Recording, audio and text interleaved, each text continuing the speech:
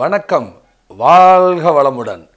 அன்பர்களே எங்களுடைய ஸ்ரீ ஜோதிட பீடத்தின் சார்பாக உங்களை சந்திப்பதில் மிக்க மகிழ்ச்சி அடையும் நான் உங்கள் பண்டிட் விஜய். நிறையா ஜோதிடம் சார்ந்த சித்தாந்தங்களை வித்தியாசமான பதிவுகளை உங்களிடம் பகிர்ந்து கொண்டு வருகிறோம்.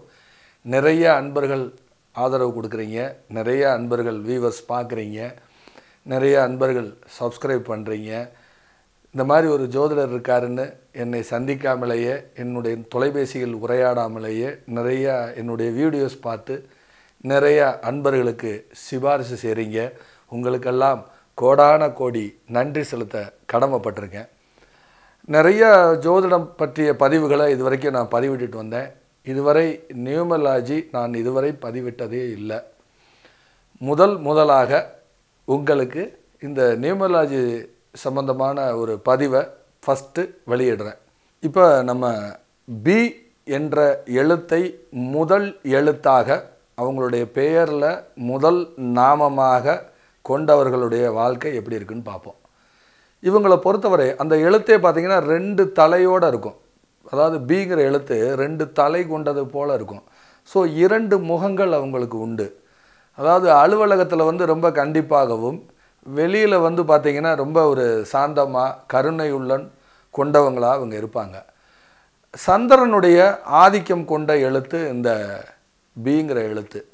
எதிலும் உணர்ச்சி வசப்பூடி படக்கூடியவர்கள் எதிலும் சலனப்படக்கூடியவர்கள் மனதை ஆள் ஆள் மனதோடு பேசக்கூடியவர்கள். அதே மாதிரி இவங்களுடைய செயல்கள் ரொம்ப ஒரு சக்ஸஸ்ஃபுல்லாக இருக்கும்.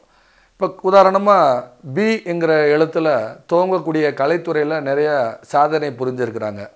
உதாரணமாக Balu Mahendra director Balu Mahendra director Balu director Bala. அதே மாதிரி Balachander sir director Balachander sir அதே மாதிரி பார்த்திங்கன்னா எஸ்பிபி பாலசுப்ரமணியம் ஐயா. இவங்கெல்லாம் பார்த்திங்கன்னா கலைத்துறையில் மிகப்பெரிய சாதனை புரிஞ்சிருக்கிறாங்க.